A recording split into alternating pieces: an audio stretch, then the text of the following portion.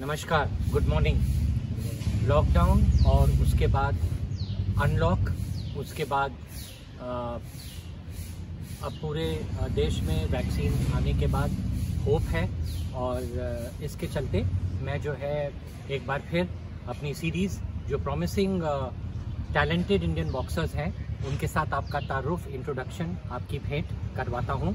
ये मेरा मकसद है ताकि ये सारे भाई अपनी अपनी फ़ील्ड जो कि इन स्पोर्ट्स की फ़ील्ड है, बॉक्सिंग है इन पर्टिकुलर, उसमें अच्छा करें। और इनकी कहानी से आपको प्रोत्साहन मिले कि अगर आप बॉक्सिंग करने की आपने सोच रखी है तो आप किस तरह से अपने आप को मोटिवेट कर सकते हो इसको करने की। मेरे साथ कृष्ण सिवाच हैं और ये जो है इन्होंने अपनी स्कूलिंग जो है Rai school of sports Sonipat से करी है। और मैं ये कहूँगा कि मेरी जो पहली बार जो इंट्रोडक्शन कृष्ण से हुई थी, जब मैं छत्रसाल स्टेडियम में गया था दिल्ली में, नवंबर 2019 में। और वहाँ पे मैंने स्कूल नेशनल गेम्स देखे थे। और बॉक्सिंग में कृष्ण का 69 केजीज वेल्टर वेट कैटेगरी में सिल्वर आया था। तो आइए इनसे बात करते हैं। अभी एक और चीज़ मैं बता, बताना चाहूँगा कि स्पोर्ट्स के अलावा ये कुछ कोर्सेज कर रहे हैं फिटनेस के। और उसके अलावा ये जो है एमिटी यूनिवर्सिटी नोएडा से पॉलिटिकल साइंस ऑनर्स कर रहे हैं। तो आइए इनसे बात करते हैं। किशन आपसे मिल के बहुत अच्छा लगा बहुत खुशी हुई। अ, तो आप अपना जो बॉक्सिंग की जो जर्नी है इसके बारे में बताइए कि शुरुआत कैसे करी? थोड़ा ज़ोर से बोलिएगा शुरुआत मैंने बॉक्सिंग की 2011 से की थी और मैंने नौ- साल बॉक्सिंग की है continuous M S sports school में जो सोनीपत में है और वहाँ मैंने काफ़ी एस जी फाइव नेशनल्स और ओपन नेशनल्स खेले हैं और मतलब मेडल भी रहे हैं मेरे काफ़ी और अभी मैं इसे मतलब एज ए पैसन मैं इसको कंटिन्यू कर रहा हूँ और मुझे इंडिया रिप्रेजेंट करना है और ओलंपिक में मतलब कंट्री के लिए गोल्ड जीतना है और ये मेरा एम है और तो इसमें मेरे को ये बताओ किशन कि जो बॉक्सिंग एक स्पोर्ट है, इसके बारे में आपने कैसे सोचा? आपने कैसे ठान ली कि मुझे बॉक्सिंग करना है? क्या चीज़ आपको इंस्पायर और मोटिवेट करी बॉक्सिंग करने के लिए? जैसे कि बेसिकली मैं भिवानी से हूँ तो वहाँ हर एक पर्सन मतलब बॉक्सिंग से ही मतलब वहाँ की कुछ जेनेटिक है कि मतलब लोग वहाँ बॉक्सिंग की तरफ़ ही ज़्यादा जाते हैं।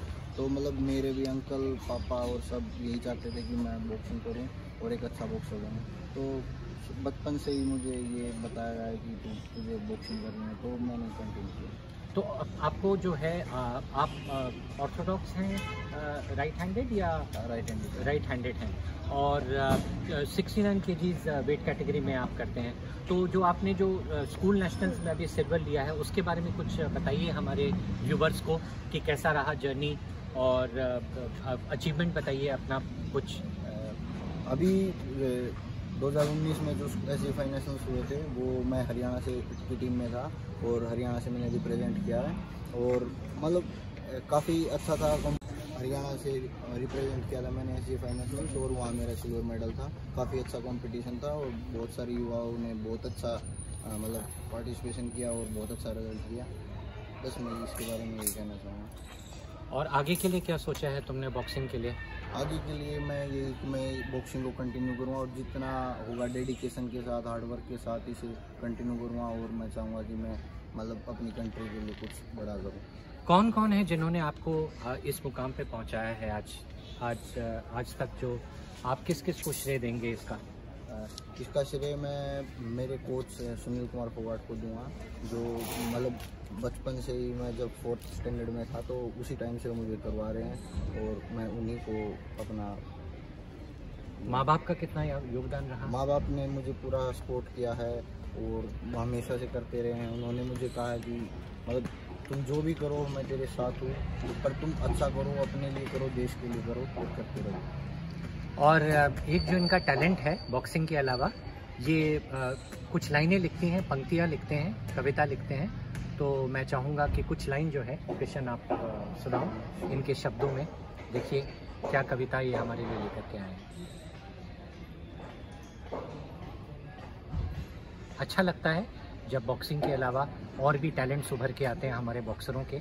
और अगर किसी के अंदर ये टैलेंट है कुछ लिखने का तो हमें ज़रूर सुनना चाहिए सपोर्ट करना चाहिए इंकरेज करना चाहिए। फ़िलहाल में मैंने एक कविता लिखी है अपने बड़े भाई विवेक को जो समर्पित है। सो मैं वो थोड़ा सुनाना चाहूँगा आप लोग थोड़ा सा ज़ोर से बोलिएगा ताकि सुनिए। बड़े भाई कुछ खास लिखना तो नहीं आता पर लिखने से जुड़ा एहसास है और बड़े भाई दिल्ली में होकर भी तू मेरे आसपास है। बड़े भाई, आज के समय में न किसी न किसी पर विश्वास है, पर बड़े भाई, तू मेरा विश्वास और दूसरी ज़िंदगी की आस है। बड़े भाई, हर समस्या में तू मेरे आगे अड़ा है। और बड़े भाई, आज इस बात न मैं दुनिया तक किस तरह बताऊँ कि तेरा भाई इस मुकाम पर है तेरी वजह तक खड़ा है। बड़े भाई, मेरा यो जीवन सिर्फ़ तूने तराशा है। और बड़े भाई, अपने इस छोटे भाई को भूल मत जाना, क्योंकि तू मेरी ज़िंदगी भर की आशा है। बड़े भाई, तू वह चीज़ है जिसने अपने तो पहले मेरी फ़िक्र है, पर बड़े भाई, तेरे छोटे भाई की हर बात में भी सिर्फ़ तेरा ही ज़िक्र है। बड़े भाई, तू मेरी हर समस्या ने पता नहीं कैसे जान लेता है। इससे बड़ी बात आज क्या बताऊँ, मेरी हर समस्या को तू अपनी मान लेता है। तो बड़े भाई, मेरी खातिर बहुत सपने सजोए हैं, और बड़े भाई, एक तो तू है जिसने मेरी हर समस्या अपने का वज़न अपने कंधे पर डोए हैं। बड़े भाई, आज दुनिया में हर रिश्ता अपने आप में एक स्वार्थ है, पर बड़े भाई के बताऊँ? तेरा तो दिल और ये रिश्ता दोनों निस्वार्थ हैं। बड़े भाई, तू मेरी आन बान शान, और बड़े भाई, आज दुनिया भी कहती कि तेरा बड़ा भाई तेरी है जान। बड़े भाई, तेरा, मेरा तेरा प्यार और रिश्ता, मैं नहीं चाहता दुनिया में दिखाना, पर बड़े भाई, जिस दिन दुनिया इसे जान जाएगी उसे खुद दुनिया को पड़ेगा इसे सुनाना।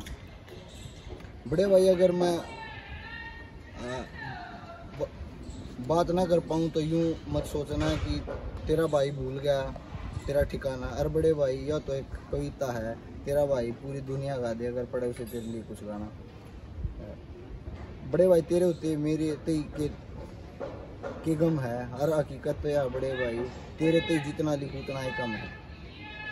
बड़े भाई, मेरे जीवन में तू सारे इंसाफ करिए, और बड़े भाई, तेरे छोटे भाई तो कुछ लिखने में गलती हुई तो माफ़ करिए। तेरा छोटा भाई तो ये था व्यूवर्स इनकी कविता। बहुत भावुक हो गया हूँ मैं इमोशनल हो गया हूँ सुन के। मुझे उम्मीद है आप सबको पसंद आया होगा। All the very best God bless you